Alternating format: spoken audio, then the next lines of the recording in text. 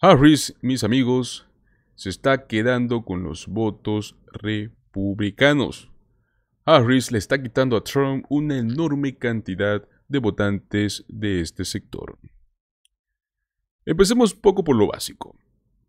Lo que está sucediendo, mis amigos, es que a pesar de que muchos puedan pensar, Donald Trump no tiene asegurado todo el apoyo republicano. Así de sencillo. Donald Trump está con problemas internos. En las últimas semanas, varias encuestas nos han mostrado que hay un 9% de los votantes republicanos que planean votar por la demócrata Kamala Harris en estas elecciones 2024. Hablamos de un aumento significativo, por lo menos desde la última vez que vimos las encuestas, ¿no? Hay encuestas recientes por parte del New York Times, del Siena College, encuestas publicadas en esta misma semana que usted puede encontrar en Twitter o en cualquier otra red social que han sido hasta transmitidas por televisión y hablamos de un 9% de los votantes que se identifican como republicanos y que prefieren votar por Kamala Harris antes que por Donald Trump. Hablamos de un casi uno de cada 10 republicanos.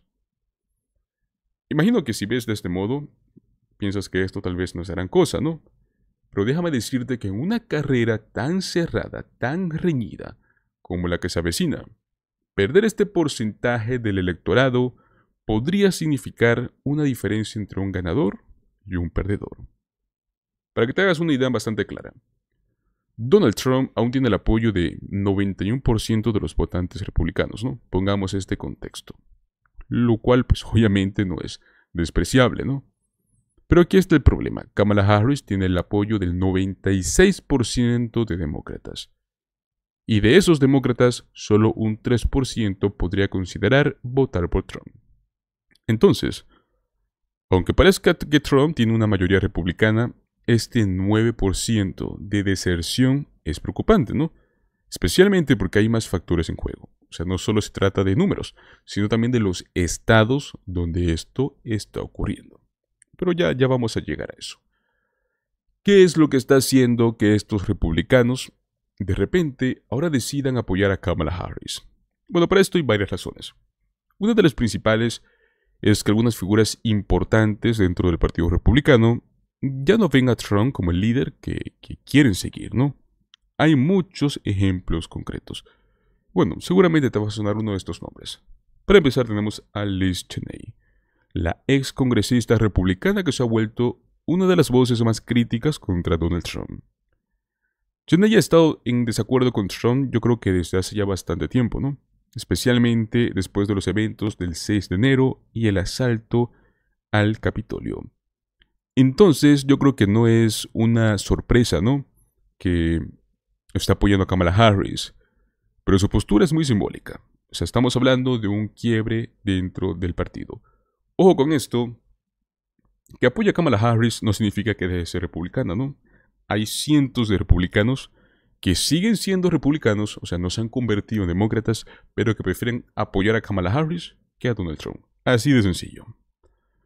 Luego tenemos una bastante interesante, que es la hija de Glenn Conway, ¿no? Es de las cosas más interesantes porque recordemos que es una de las es la hija de una de las asesoras más cercanas a Trump durante lo que fue el tiempo en la Casa Blanca, ¿no?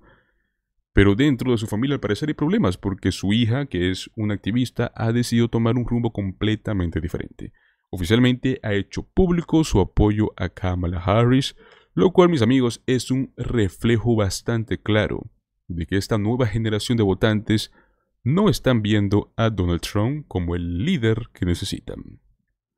Luego tenemos a alguien que también ha causado mucho revuelo en su momento, y es la hija de Rudy Giuliani.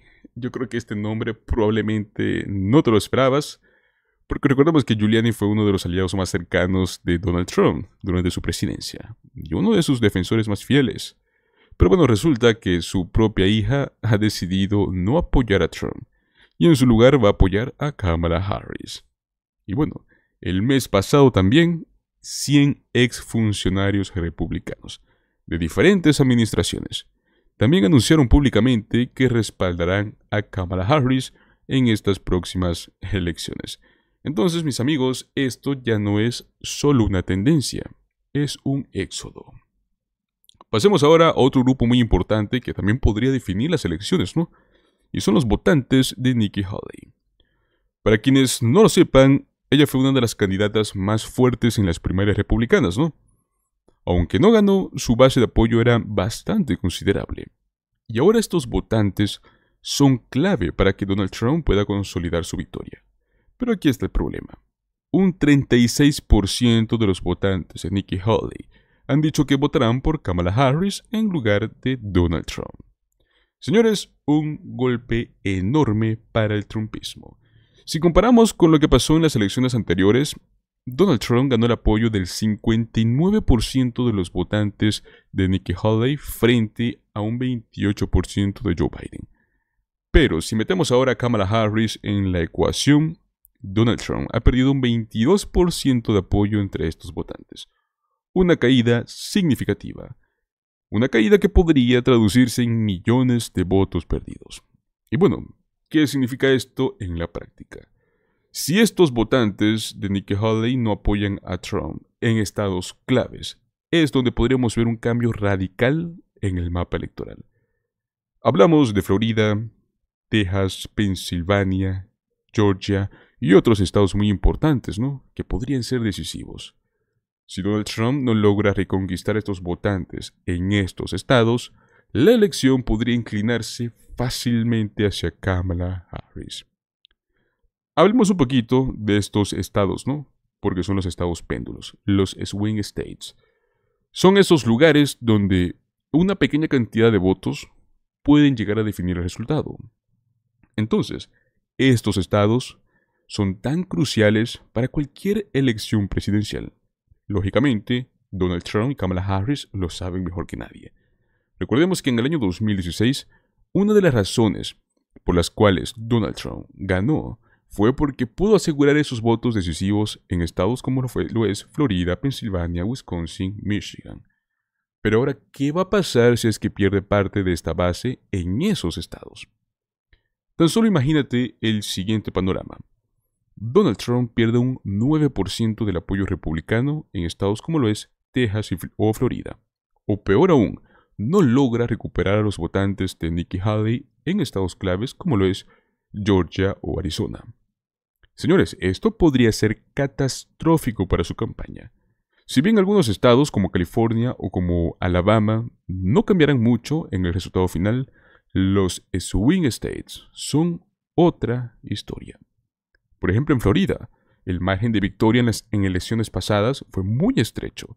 Si esos votantes republicanos que ahora están apoyando a Kamala Harris no regresan al bando de Trump, mis amigos, podría haber un cambio en el estado. Lo mismo pasa en Georgia, lo mismo pasa en Pensilvania, donde cada voto prácticamente cuenta el doble ni hablar de Wisconsin, Michigan o Nevada, estados eh, que podrían convertirse en verdaderos campos de batalla electorales si es que Donald Trump no logra consolidar su base. Así que amigos, para poder resumir un poco lo que tenemos y lo que vemos, ¿no? Es una división importante dentro del Partido Republicano, con un 9% de votantes republicanos que ya no apoyan a Trump donde vemos figuras influyentes dentro del partido, que ahora dan su respaldo a Kamala Harris. Yo creo que las cosas no pintan nada bien para el expresidente. A esto sumemos la pérdida de apoyo entre los votantes de Nikki Haley. Este panorama se vuelve cada vez más complicado para él.